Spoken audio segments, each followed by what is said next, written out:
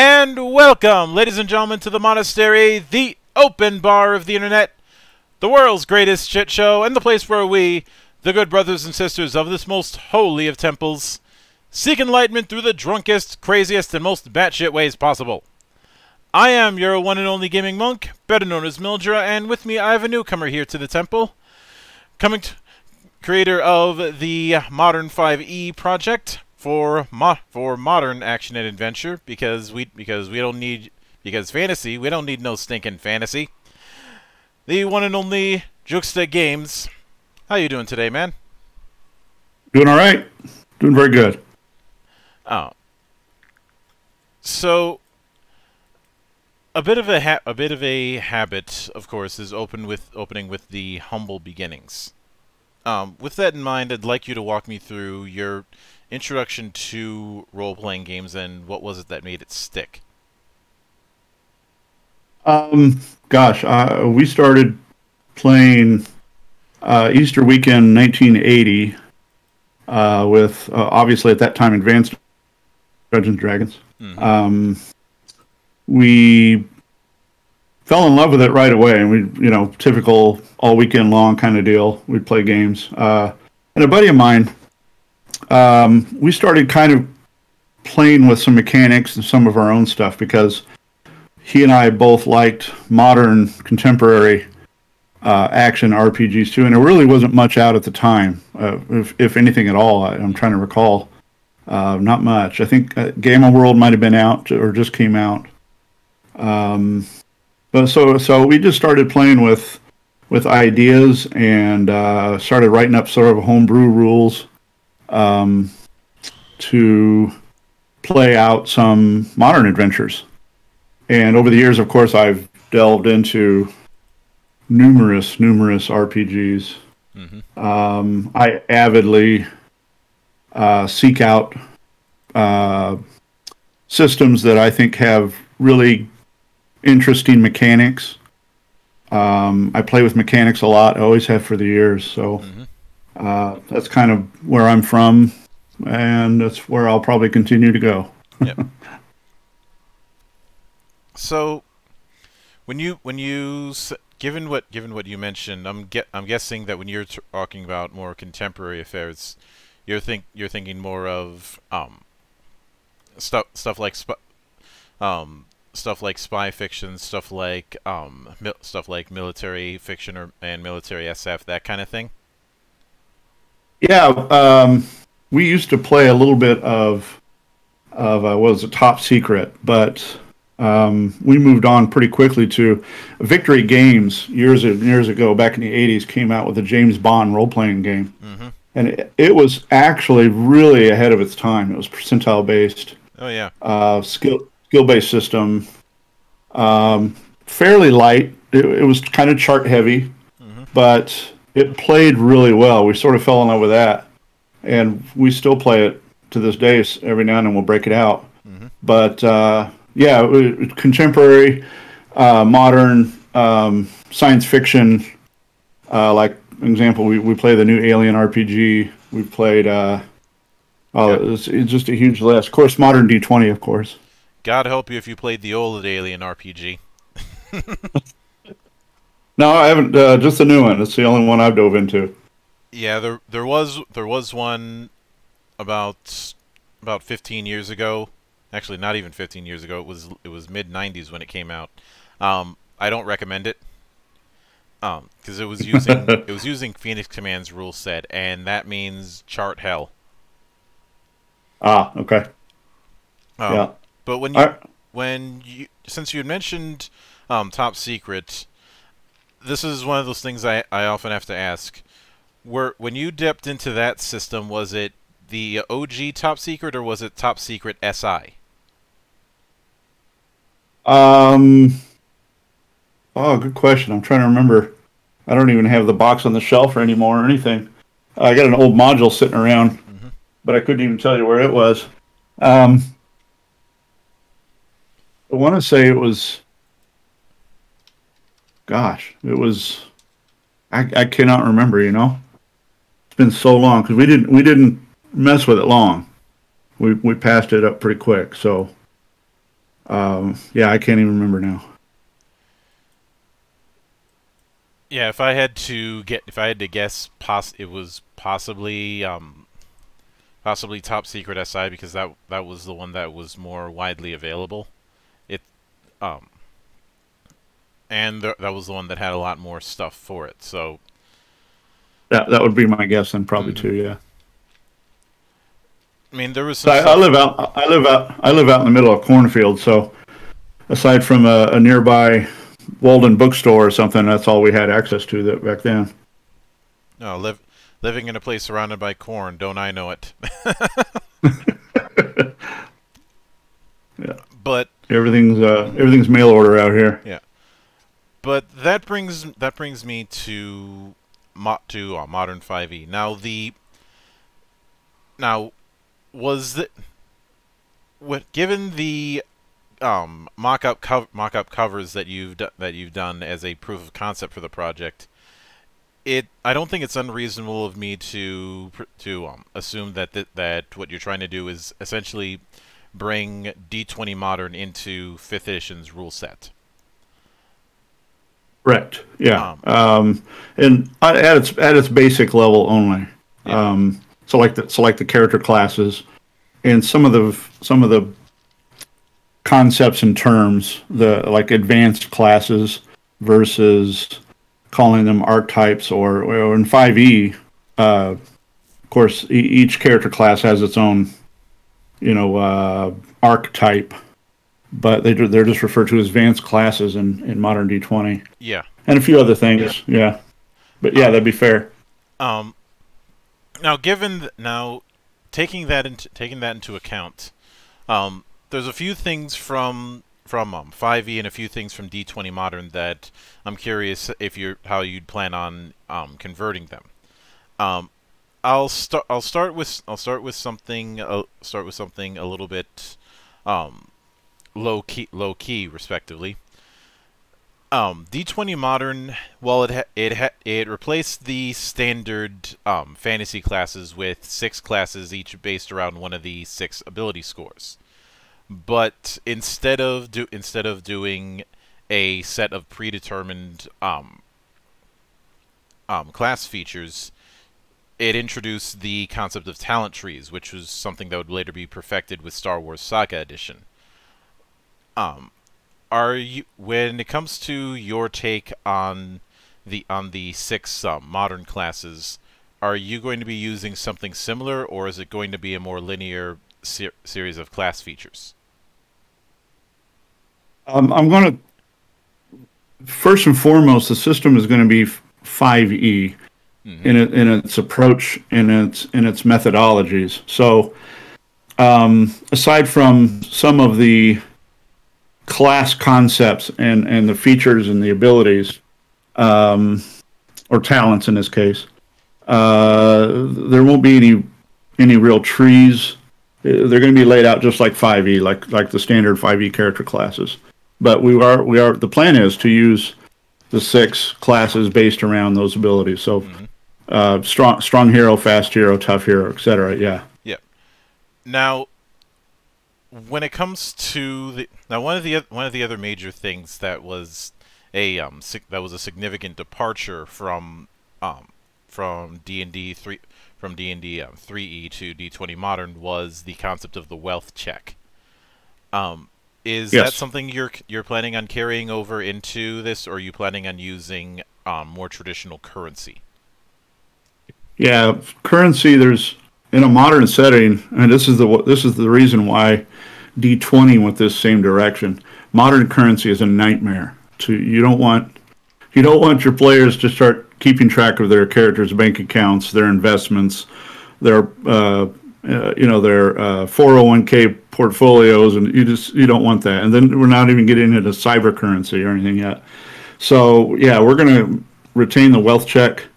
Um, probably improve on it a, a little bit. Um, it's I think it's going to be more based around the character's lifestyle, mm-hmm. which is a 5e. Uh, they, they don't go into lifestyles a lot in 5e. I think we're going to break that down a lot more.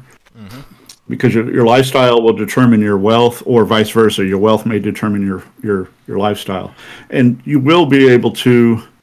Uh, for example, the characters will be able to take out a loan in order to make a higher wealth check than they would normally be able to. And then that would simply require the characters to make a regular wealth check to, you know, so many wealth checks to pay off that loan over a period of time. That's about as complicated as it's going to get.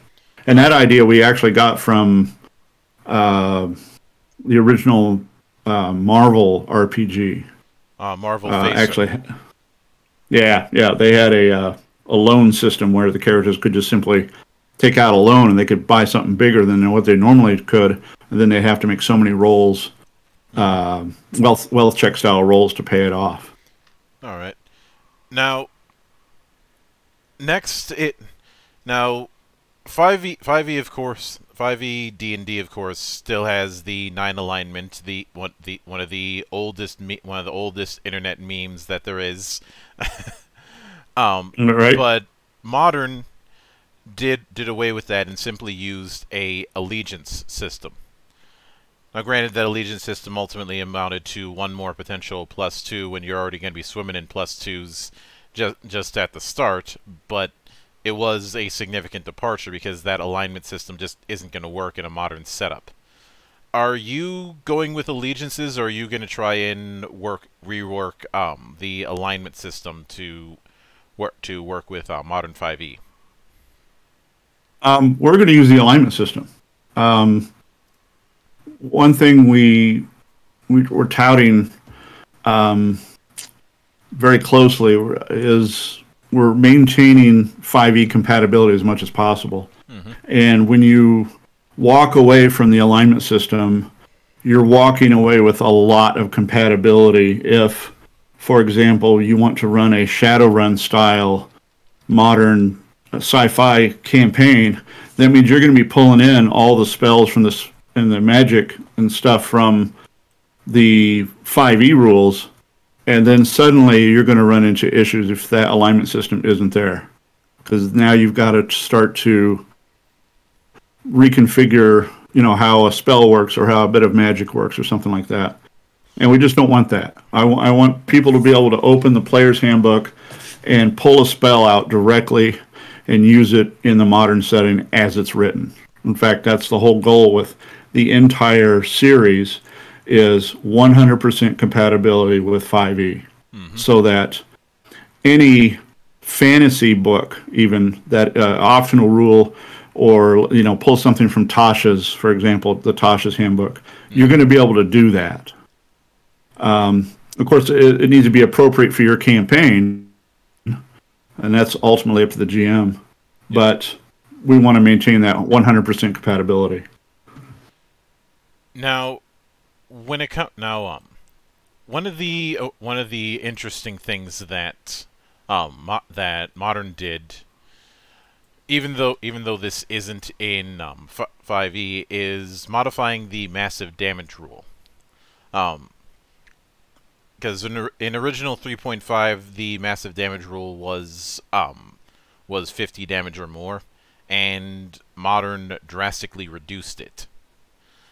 Um i'm curious if and granted in 5e ma- the closest i've been able to find with massive damage is optional rules. Do you in, do you intend on keep on keeping on um, integrating massive damage back in or is that something that you decided wouldn't be compatible Um, I think we're going to have an optional rule as well. Um, I think in its in its foundation, we're going to have just exactly what 5e has, but I did want something in place. We're going to have a fair amount of optional rules. Uh, they're going to be located in the back of the book.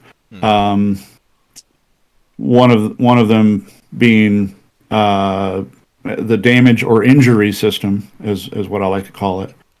Um, another one is uh, mana for spells, as opposed to just uh, you know spell points by level, Yep. uh, that sort of thing. So there's going to be a fair amount of optional uh, mook rules also. So if you want to gun down, you know, 20 mooks all at once, there'll be rules for that. and, and there are similar rules in the back of the DMG, which uh, we may take advantage of too. Yeah. Um, of course, if I'm if I'm running something like this, and um, and I and and mooks are included, I'm probably going to have to include a rule that you that you might be able to roll with advantage if you can if you can justify pigeons showing up in a gunfight. you know, just to get the just to get the John Woo reference out of there. But one of the uh, um since you mentioned that you mentioned that advanced classes are going to be integrated into the um, archetype setup, that brings me to that brings me to another thing. Um, now, obviously, doing the prerequisites that happened with advanced classes isn't going to be a thing, but um, subclasses in 5e are intrinsically tied to a given class most of the time, and advanced cl advanced classes in um, and D20 Modern weren't necessarily tied to that. Some of, some of them were, some of them weren't. It depended on prerequisites. How are you tackling that? Yeah, we're not going to have advanced classes tied to any specific base class. So you can crisscross all day long with advanced classes and whatever whatever advanced class you're going to be. So you'll be able to have uh, just just like in modern D20, you'll be able to have a fast gunslinger or a strong gunslinger. You'll be, I mean, gunslinger will just be a, a generic. They're, they're basically they're all going to be just a generic advanced class, crisscross, however you see fit or however the player wants mm-hmm. um, when they, when they create their character. So because of um, each, go ahead. Well, the the further thing I was going to ask on that is, um, in 5e, some classes get some classes get access to their subclasses earlier than others. Um, is that are you going to have it that each of the base classes get get access to advanced classes at the same rates, or are some going to get it or some going to get it um, more quickly? That's a good question. I haven't looked at that particular detail. Um, as we as we get into each advanced class, we'll just have to take a look at it. Mm-hmm. Um, where the idea was, you know, right around third level, uh, you would get to pick an advanced class just like you would uh, a subclass in 5e. Um, I know that varies a little bit, and yeah, we'll have to look at each because there's going to be a pretty fair amount of advanced classes starting off, um, including some real specialized ones. So yeah, we'll just have to take a look at that when, when we get into it. Each each Vance class will start off with uh, a saving throw uh, adjustment, uh, one skill list, and and then uh, each class will have its appropriate skills. Everything's going to be really well balanced because there, there's a certain number of skills, certain number of proficiencies, your tool slots, your languages there are there's almost a, not quite a set amount, but there almost is a real pattern to it in 5e. We're going to kind of follow that on through into modern 5e. All right. Now, D20 Modern was was trying to was trying to do was trying to do um modern um gaming, but in actual practice, it was it was more like um, modern urban fantasy, like a lot of the a lot of the um, a lot of the urban fantasy shows that were gaining a lot of traction in the 90s and, two- and early 2000s. Is modern 5e in that particular vein, or are you trying, or are you trying to go as as um as ground as grounded as you as you um reasonably can?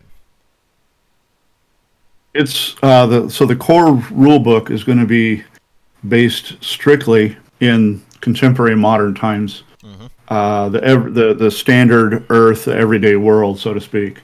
And then from that point, this will be the these these rules here will be the foundation for uh, what I'm referring to right now is expansion kits, which will be small booklets that they could get, which will expand the campaign into whatever direction the DM wants to take. You know, so if, if you want, for example, a Shadowrun style uh, modern 5e campaign, you would you would use obviously the core rule book, and then there, there would be a fantasy uh, book that would have all the fantasy elements in. In which case, you could pull in uh, the Fey races, uh, the a half ogre, and some of the other stuff. Um, and then you'd have magic and spells, obviously. And of course, that would be some, some, somewhat of a sci-fi setting, also. So you're going to have real modern weapons, and uh, there's actually a whole campaign that we're developing. Once we have the core rulebook done and a few expansion uh, supplements out, we're going to put a, a campaign book out called Sigilfall, and that'll that'll have a Shadowrun style uh, campaign with a really nice, beautifully written background to it. It's I like Shadowrun and it's extremely well written, but I've never really liked the idea of the awakening too much. I thought it could always have been done a little better.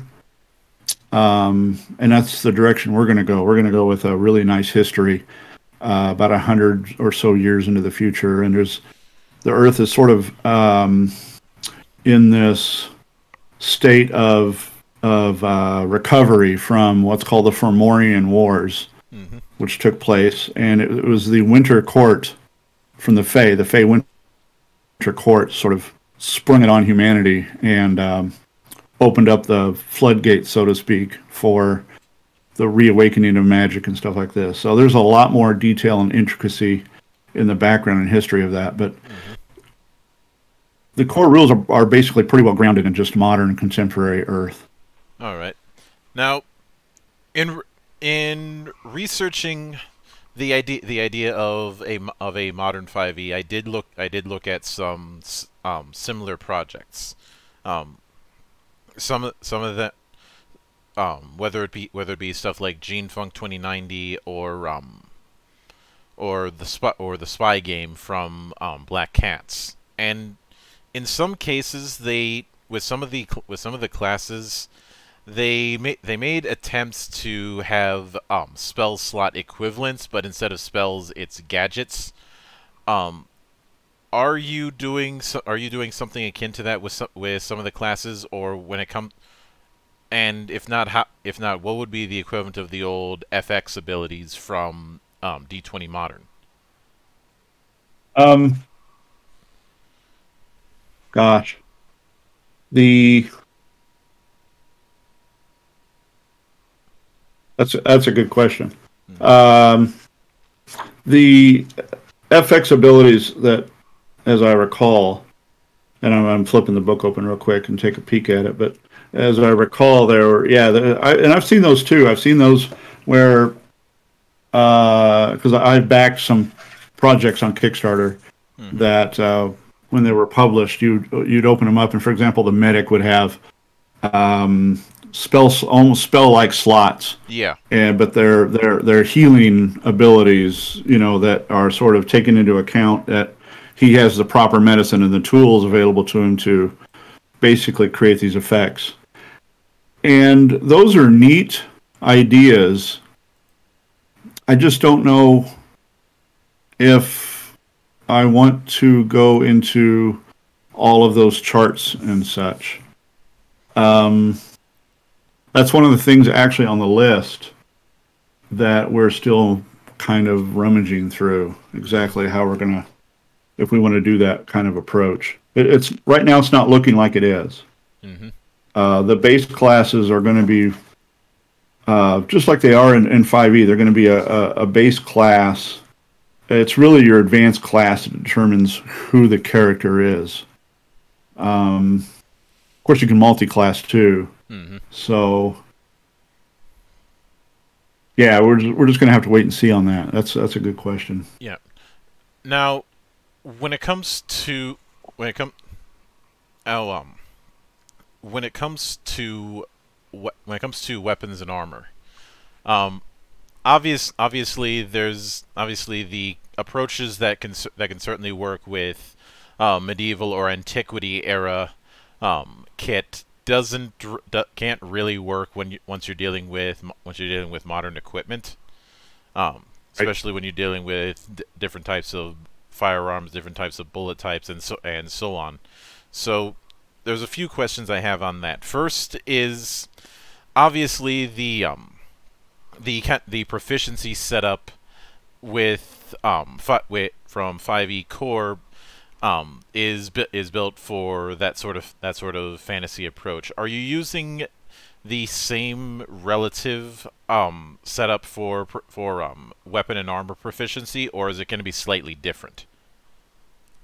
It will be uh, broken down in the same way. Uh, obviously, the armor is going to be different. Of course, you could, I guess, always a character, I guess, could always uh, buy antiquated armor, but uh, the armor is going to be broken up into light, medium, and heavy, just like they are in uh, 5e.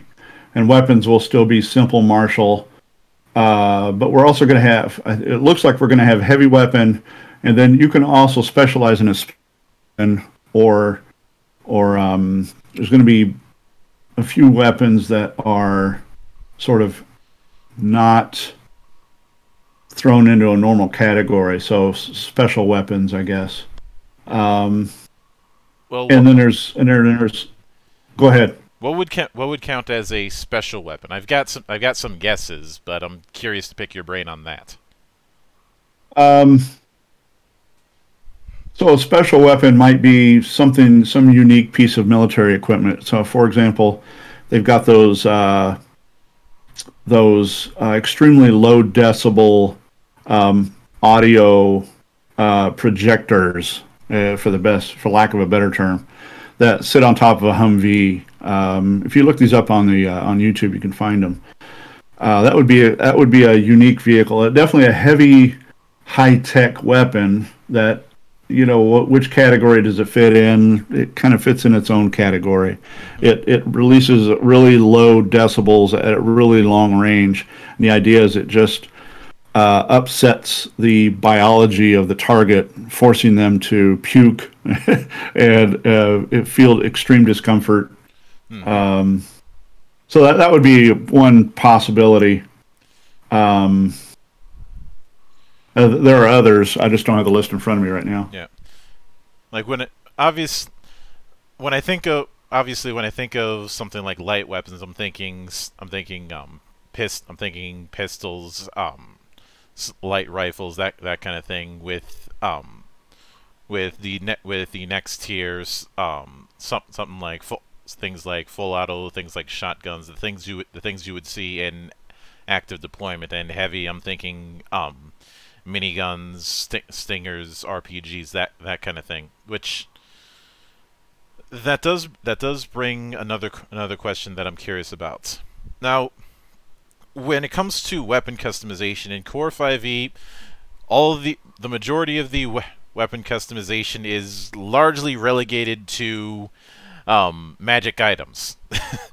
and obviously Yep. that obviously that's not going to fly in this kind of thing. So given how when you look at a lot of you look at a lot of um um mo- um modern style um entries when it comes to video games and and other material there is always there's always talk of um wep- of weapon customization or taking taking things apart and, and doing custom work even if it's just as simple as putting a putting a sight on or so, or something how is that going to um come across in modern E? 5e Yeah, that's uh. So the the proficiencies um, are going to be expanded a little bit into uh, another, you know, other tool sets, more modern tool sets. Like if, for example, if you have uh, proficiency in gunsmithing, you can use the gunsmithing tool, and that allows you to modify uh, the weapons. Now, the weapons themselves are going to be um, not simply just thrown into categories.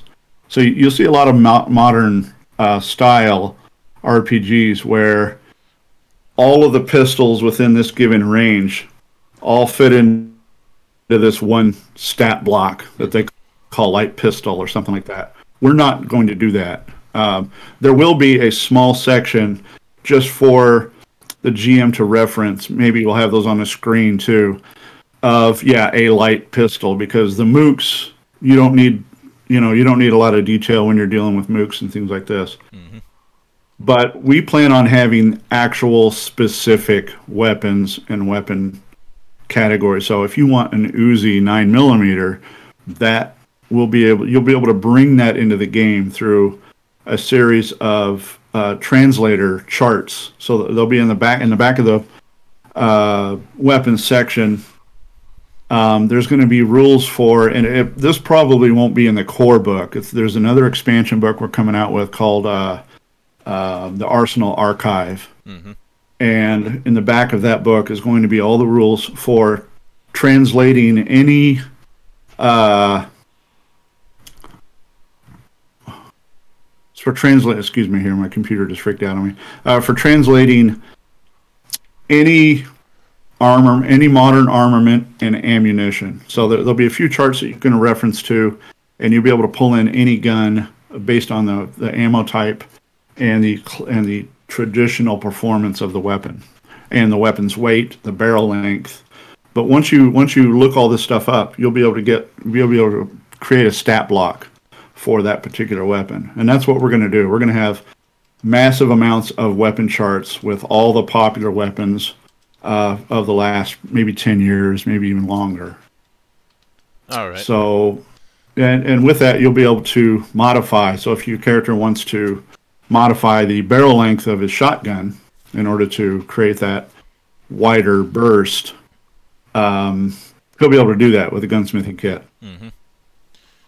Now, Speaking of that, when it comes to skills, are a lot of are you more or less using the same skill list as Core 5e just with a bit of reskinning or are there go, or are there going to be some skills that are out and out new?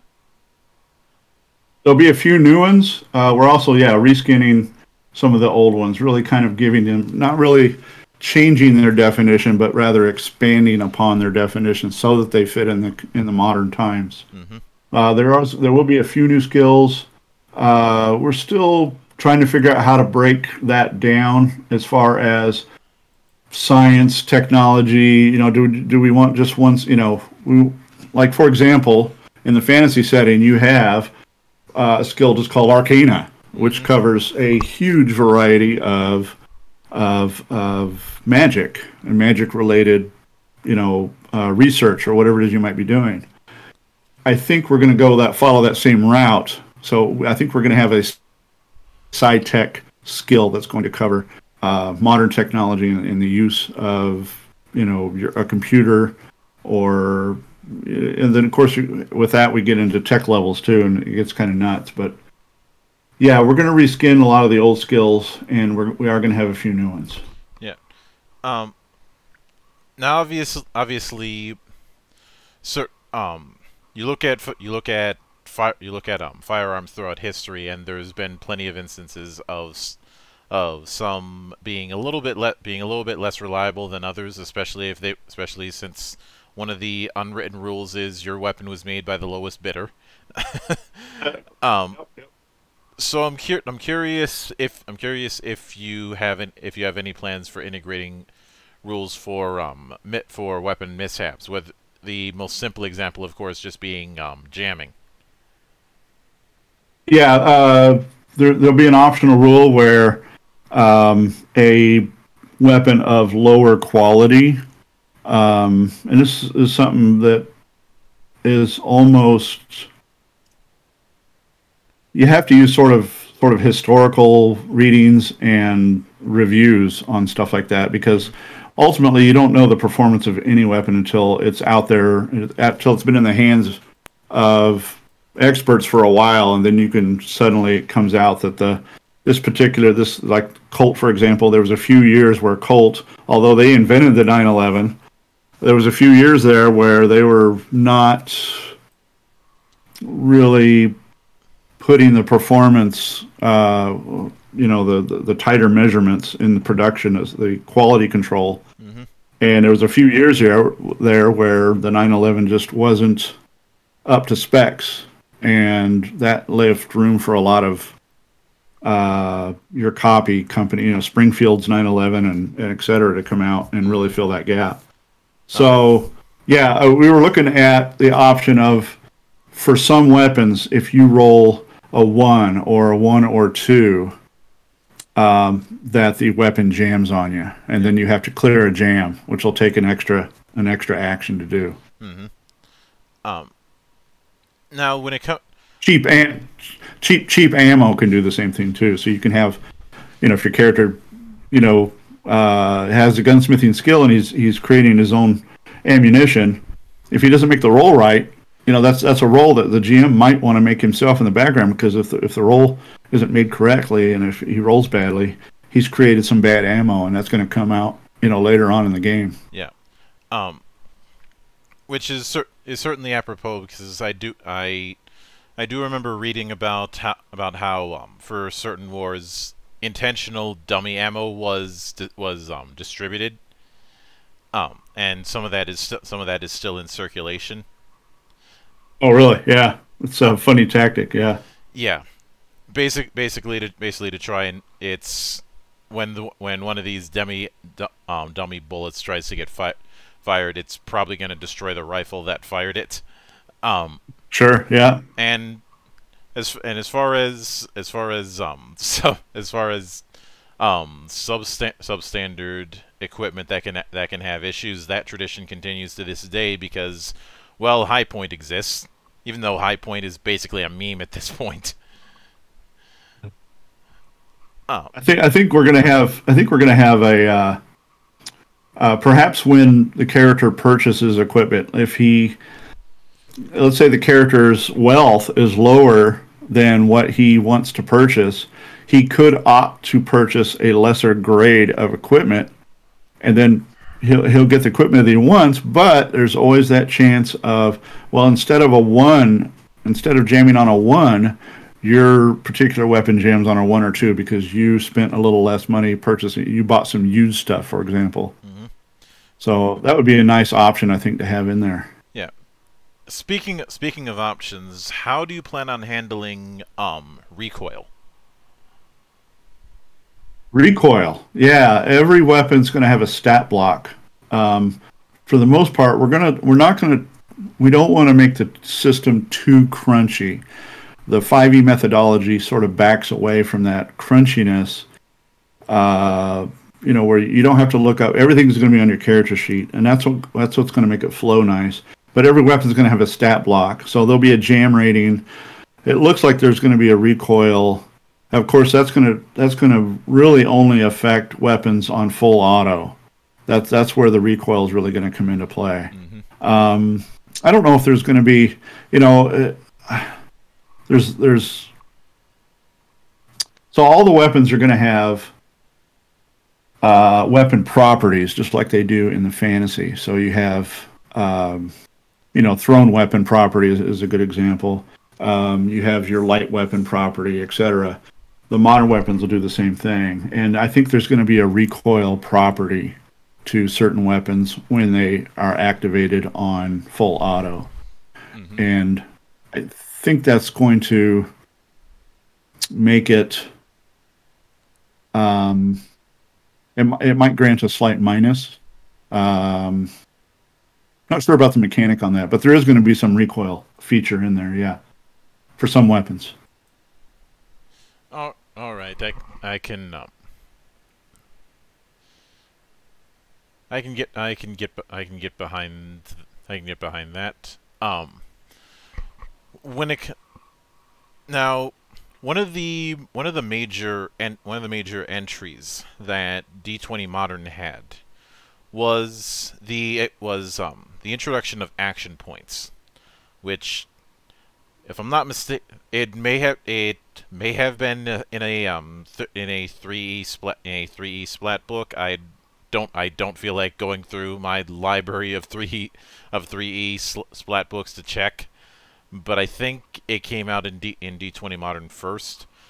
Um, do you plan on on on integrating action points in in some manner, or do, or is that not in the cards? We're going to have uh, in in the core system. We're going to have inspiration, mm-hmm. just as it is in 5e.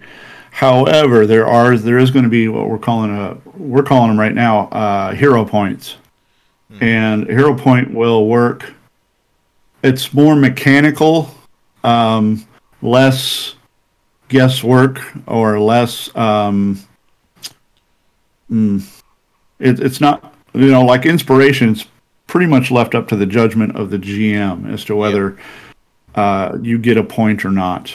Whereas this is going to be an optional system that he can use to. I suppose he could run inspiration and hero, but I don't. I don't think so. Uh, unless you wanted to run inspiration just for the role playing aspect alone.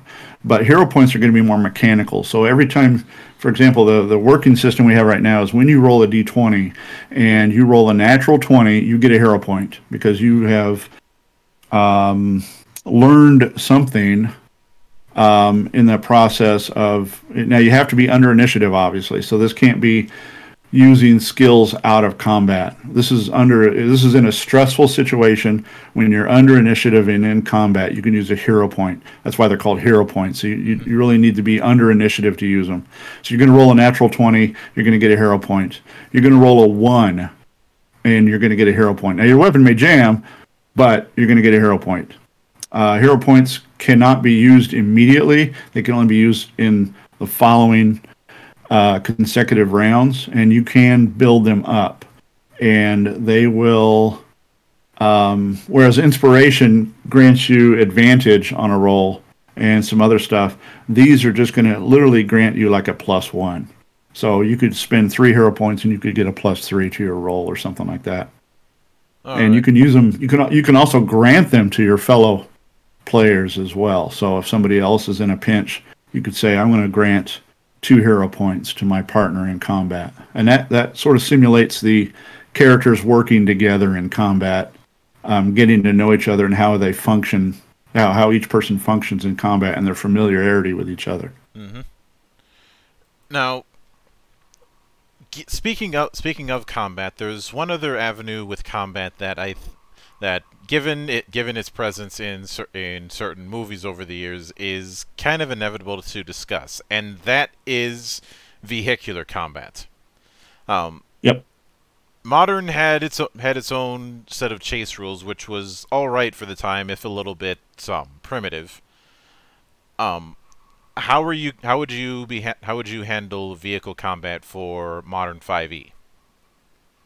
We're actually we're actually stealing a little bit of uh, of mechanic from that old Victory Games Bond James Bond game that I mentioned earlier. Mm-hmm. They had a really nice chase system, and we're actually going to sort of port that over to 5e. Um, so what that involves is the the lead vehicle, the one is presumably the one that's actually being chased, the chasee, in other words, is is sort of in control of the chase because everybody else is just trying to catch that person.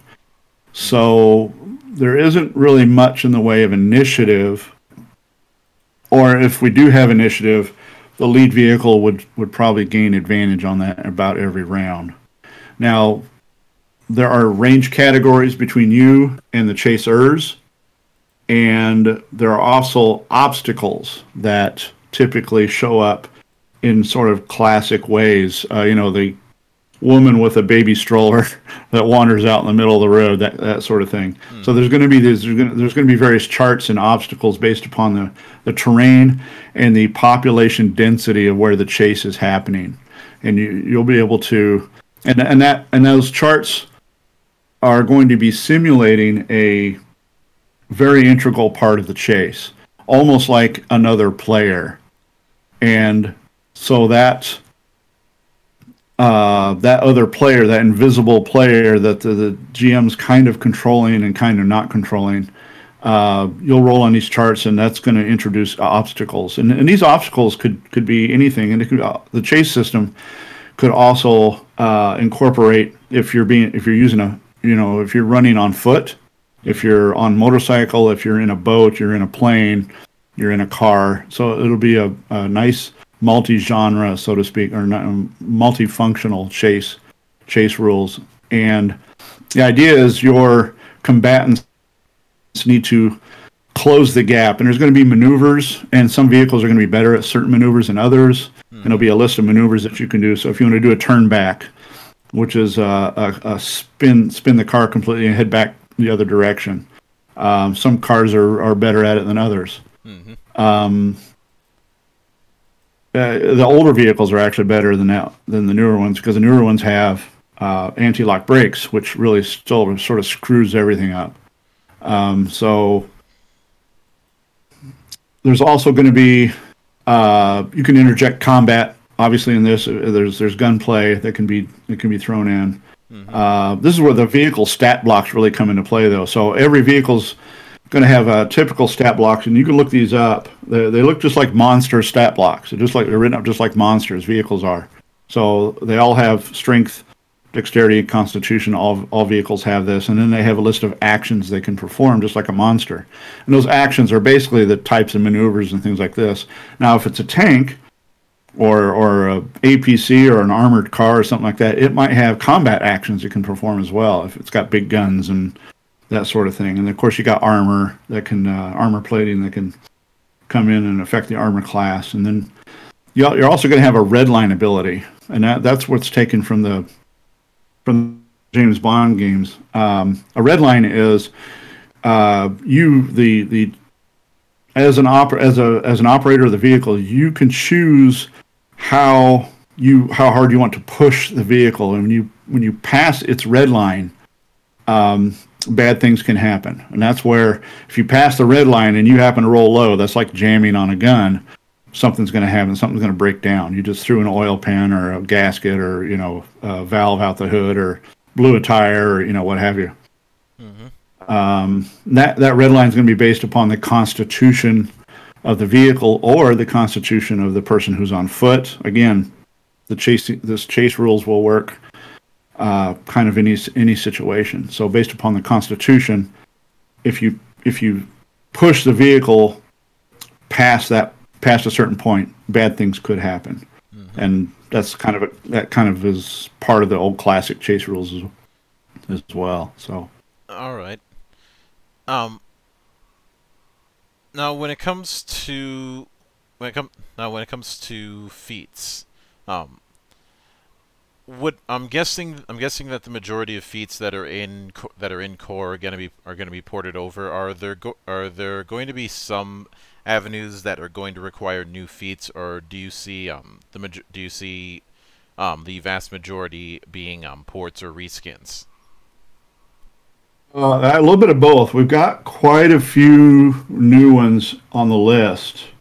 Um, there's going to be some obvious ones like uh, the alert uh, feat in 5e. Um, that's not part of the SRD. So technically, we couldn't use the alert feat as worded, but we can reword it to aware and we can apply our own definition to it. Mm-hmm. So, because the, the SRD only has one feat. Uh, and that's it. So everything else we have to either reskin ourselves, rename it, reskin it, or come up with new ones. But we have a pretty good list of new ones. So we've got, uh, you know, some examples would be heavy heavy weapons expert, um, linguistics, um, a parkour expert, uh, rifle expert, pistol expert, and those are based on like the pistol expert, for example, is basically the crossbow expert just ported over into modern times, that sort of thing. Uh, we have streetwise feats. We have uh, tough feats. We have wealthy. We also have a feat called wealthy. I don't I don't know what we're going to do with that yet, but I thought if a character wanted to be particularly good or very wealthy, if they wanted to spend a slot, a feat slot, which is kind of a big deal in 5e, you could really be very good in investments and, you know, your character's fairly wealthy or is good at handling their wealth. Mm-hmm. Um, armor expert, uh, guardian would be one, but that's that's basically the same as the sentinel uh, in 5e. Marksman would be the port of sharpshooter. Um, we're going to have a healer feat of some kind. Uh, lethal would be a port of savage attacker uh, for melee or ranged both.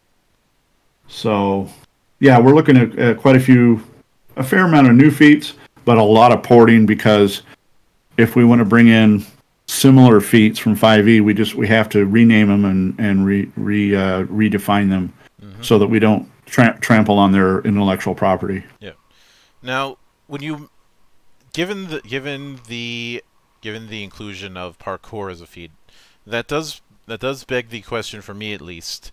Um, when it comes to the chase rules, is it strictly vehicular chases or is it is it portable over to a good old fashioned on foot chase? Yeah, just like uh, as I mentioned before, you can you can use the chase rules in any situation. So they're good in vehicles. They'll work on foot. They'll work in uh, uh, bicycles, uh, go karts. Uh, they're going to work in in a slightly modified version, but the the basic core will also work for uh, you know air air to air combat dogfights. Um, so it's going to be a pretty neat, pretty flexible system. Mm-hmm.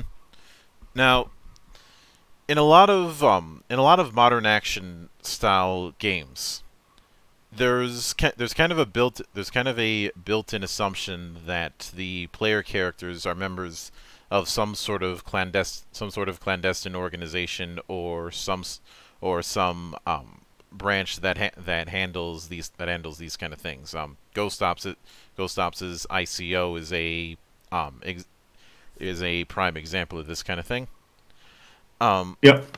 Now within the now, uh, um, now I'm not bringing this up to ask if you've got an equivalent, but more, uh, but more of how you'd handle downtime with with um with characters in this organization. Are there going to be some, or do you plan on having some degree of down of um downtime rules between, for lack of a better term, missions? Yeah, downtime rules. We're going to get pretty heavy into downtime rules uh, because that's where you would, if your character wanted to do modify the equipment or, uh, you know, use your your gun uh, smithing tools or use your vehicle tools to make modify your vehicle. Mm-hmm. Um, you're going to have to have downtime rules for that. But uh, it, you know, there's a lot. To me, there's a lot more importance on downtime in a modern setting than there is in a fantasy setting. Mm-hmm. Um, so uh, the second part, so yeah, we're going to have a lot of downtime stuff, but the second part of that is in regards to the organizations. We are going to have factions. We are going to have uh, patrons. A patron being an individual who's helping the group out. I think that's that's it'll be modified version of the actually a more detailed version of what's in the Tasha's handbook. Hmm. Um, they they briefly go into patrons there, but factions are going to have faction blocks. So factions are actually going to have stat blocks, and those stat blocks are going to be just like monsters again. So uh, a corporation can have a strength, a constitution, uh, a dexterity, intelligence, and, and these these sort of mimic the modern ideas of, of what a corporation can do. So it, its strength might be its military strength. Its uh, dexterity might be its mobility, its ability to uh, handle its logistics very well. Its intelligence might be literally that, its intelligence capabilities. Its charisma might be its marketing capabilities. So that's what the abilities are going to represent. And then corporations are going to have their own wealth, their own wealth bonuses, and things that will translate down into the characters who are a part of that faction as well. Well, mm-hmm. and then corporations can perform. Some corporations are better at doing things than others, so there's going to be specific actions um, listed in the stat block, just like a monster. And you could actually technically have faction wars. So you could have one criminal organization on one side of town going against another, and they're trying to. Uh, a good example would be they're trying to um, uh, not necessarily outright attack them, but uh, create a situation where the enemy organization um, is sort of their name is being trashed on the streets. Mm-hmm. So there's a there's a uh, ability where they could use their charisma, make it a check to see if they could uh, trash talk them on the street and lower their reputation, kind of. So there'll be that sort of um, interaction between factions you could do as a GM. And if a player wanted to create, eventually, if a player became powerful enough, he could maybe create his own faction or become a patron himself. So. Mm-hmm. Now, since you mentioned Shadowrun, it's it, one of the co- one of the core things in that. In fact, it's in fact it's something that has to be taken into account in character creation is the fact that no man is an island, and a lot of times getting stuff done is is just as much about just as much about who and uh, who you know and who knows you as it is what you can do. Right. So, Yep. how is how do you plan on reflecting that within um, modern 5e? Well, in, a, in, a, in sort of a classic Shadowrun situation, um, they usually had a fixer or something like that that would Mm-hmm. Give the um, hand out the missions and sort of set a direction Mr. for Johnson. your party. Yeah, Johnson. Yeah, yep. Um, similar situation. If if the GM wanted to approach that, he could use the patrons or the faction that they happen to belong to.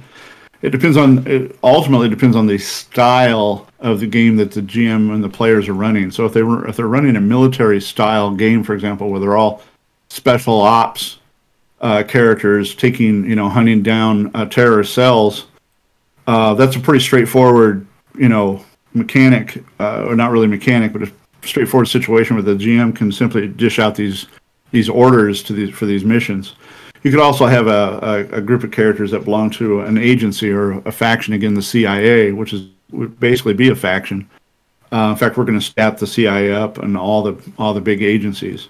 So have a patron, maybe for example, that typically dishes out their orders in a much similar way to Shadowrun style gaming. Um, the char- you could also just run sandbox if the characters maybe they're all part of a private investigation agency or they all go they all went in together to form a maybe they're a mercenary you know a group of mercenaries um you know the the, the gates are really once we get the core rule book open the the floodgates can really can really come open and uh, you can go a lot of different directions with this. Hmm Now, take now um taking that into taking all that into account, um, what what would you ultimately be shooting for as far as a total um, page count? Yeah, originally we were going to go with about a 300 page hardback uh, book that was going to have it was going to have a lot of stuff in it, and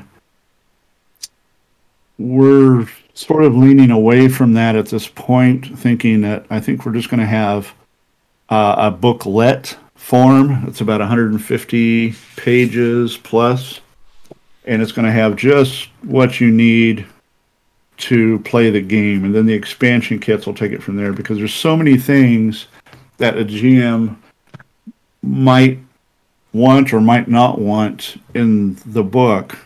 And oftentimes, when you, when you get into these situations where you have these really thick modern uh, games that are multi-genre that are designed to do anything with, which is what we're aiming to you know, it's what we're going with also. But when you have these really big, thick ones, and you hand that to the players, you know, the players want see all this other stuff that the GM really isn't using in the game, and it kind of becomes a headache because the players are flipping through it, going, "Oh, I want this," or "Are we going to go this direction or that direction?" Where in this case, you know, you can hand the the cores book to the players and say, "Just create your characters from this and this particular handbook and this particular." expansion kit and then leave it at that. He doesn't have to deal with all of the other stuff. Uh, for example, if you're not doing a Shadowrun style or high tech, then you know you're not having to present that stuff to your players and have them flip through the book past it to try to find their own to, try to find their specific stuff for your campaign. Mm-hmm. So I think it's going to be a, a better system if we break it down in that way. I, I can certainly I can certainly see that and get and certainly get behind that. And given given all of that, I definitely will be looking forward to seeing how this how this kind of thing develops and figuring out what sort of build I can make that would be that would be just as infuriating to my G- to my GM as the Palarer build is for um, 5e. Right. Yeah. Yeah. And there's, uh, every game has their advantages, disadvantages. No pun intended. Mhm. But yeah, every you know, there's we're going to try to limit you know the type of stuff that we think might break the game. Uh, but players are the most ingenious of individuals. Uh, I've got one in my group, and he is notorious for spending hours looking through all of the options. Um, quite a bit have been maxing sometimes, but we sort of expect that out of him now. So it's kind of funny to wait and see what he comes up with. But he is he is one of the best I've seen at, at finding the flaws, and so I'm really looking forward to maybe getting his opinion on stuff and having him go through it and you know really point out that oh here look at this I could you know I can get this giant bonus here if I combine these two you know things. So yeah, it, every system is going to have every system has its flaws and it's and it's a matter of finding them and, and try to come up with a nice balanced system but inevitably there's going to be something in there that players are going to find and latch a hold of. Um and I'm, I'm sure you're familiar with the infamous legend of pun pun. Pun pun. I've heard the reference. I don't know the exact uh, definition Pun Pun was exact one, reference. Pun Pun was one of those things in the 3E days on, on the old Wizards forums to try and make the most broken ass build possible. and the result That was a the result was a kobold who, because of a couple loopholes, could theoretically take infinite levels and infinite classes.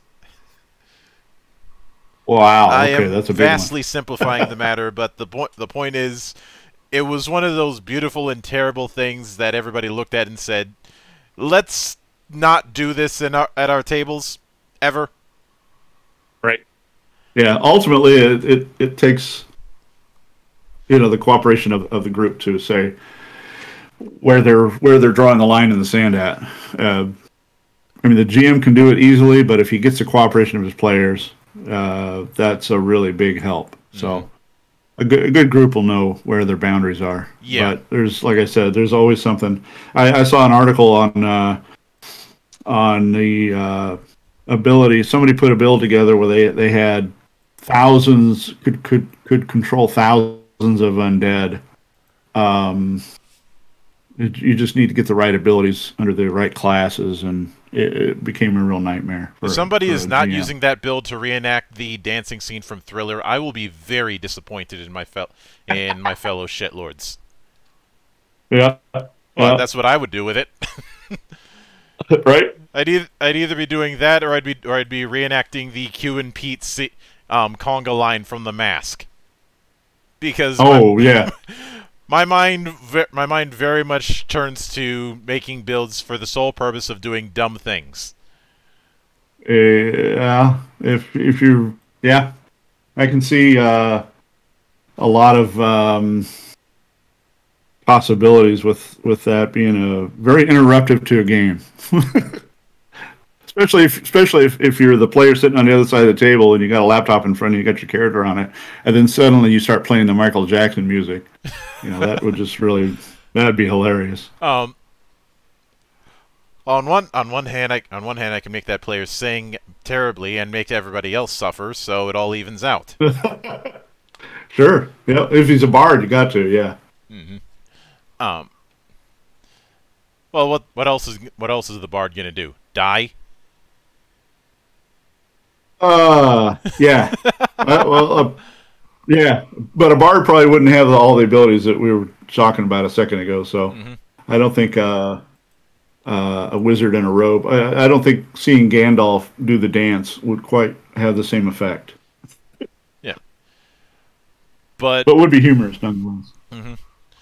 But with that said, I do want to sincerely thank you for taking the time out of your schedule to come to come all the way come all the way to the temple and enjoy the insanity at play here. Oh, I, I appreciate you having me. It's, it's been fun. Yep. And anytime you see fit to return, whether it's for further developments with Modern 5e or just to just to just to laugh at pe- at people playing gimped ass ranger builds, um, the door is always open. As I often appreciate it. As I often say around here, drinking is not mandatory, but it is encouraged. Yeah, absolutely. Yeah, I'll keep you informed on how things progress. So I appreciate it. And of course, a sincere thanks goes out to everyone who took the time out of their schedule to come onto the show and enjoy the madness. And there'll be plenty more where that came from, as there always is here, on the open bar of the internet. But until then, On behalf of the good brothers present and not present, my name is Mildra. I am your gaming monk. Stay fucking frosty, everybody.